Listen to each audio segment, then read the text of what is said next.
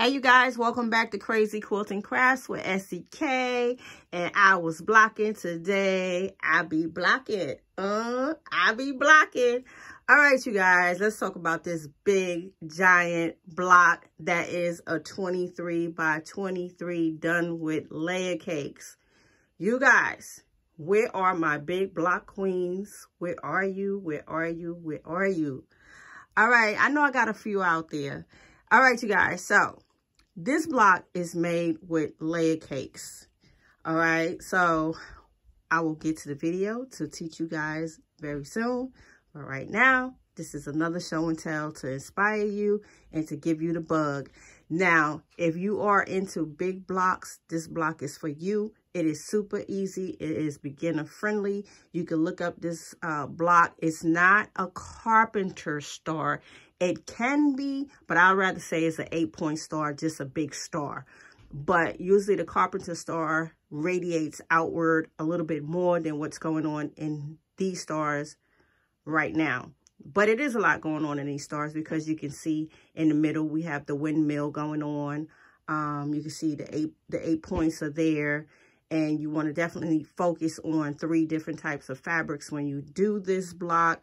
I did three different types of fabrics and some of them, some of them I only used two colors and others I used three. So as you can see in this block right here, I used three. In this block, I used two. This one, I used three. Uh, this one, I used three. And this one over here, I used three.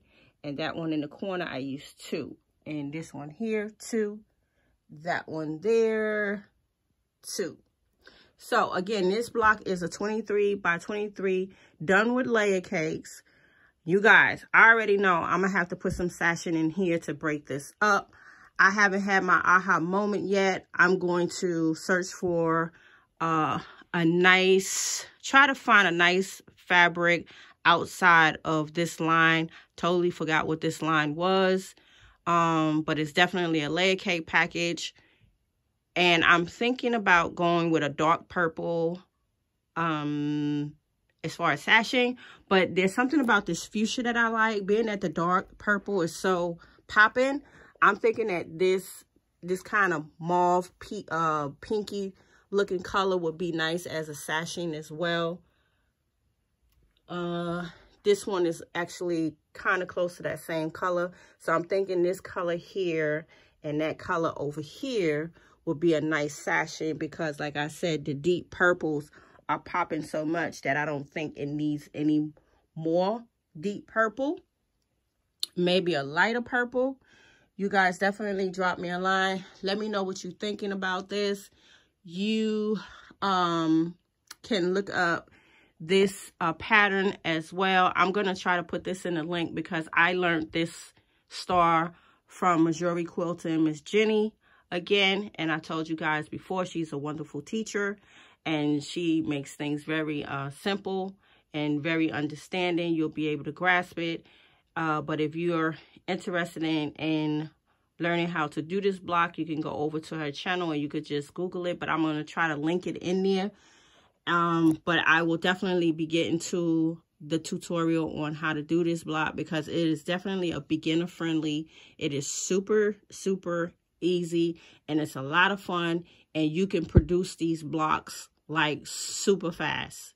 So they definitely consist of the um, half triangles. So you can also see the half triangles in there as well. You will have to, um, you know, split them, put them back together.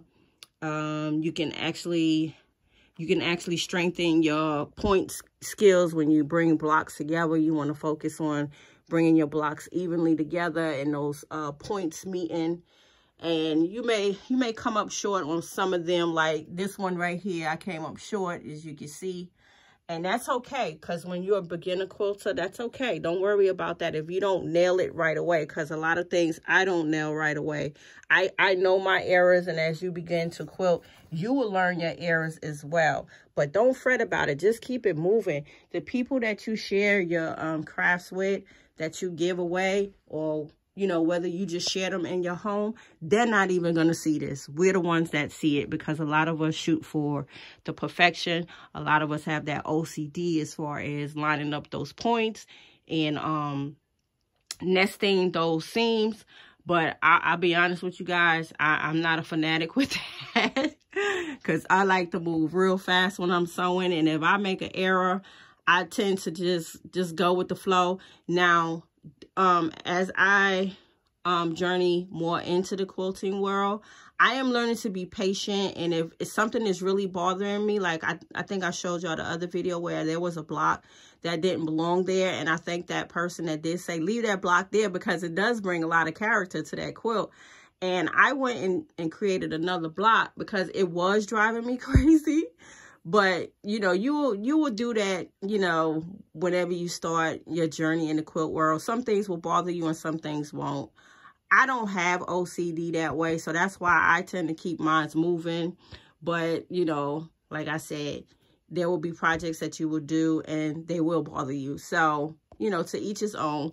But um, just enjoy. Enjoy um, playing with the fabrics, the different colors. Enjoy making up stuff. I tend to make up all kind of stuff when I'm um, quilting and, you know, things of that nature. Be happy with the mistakes.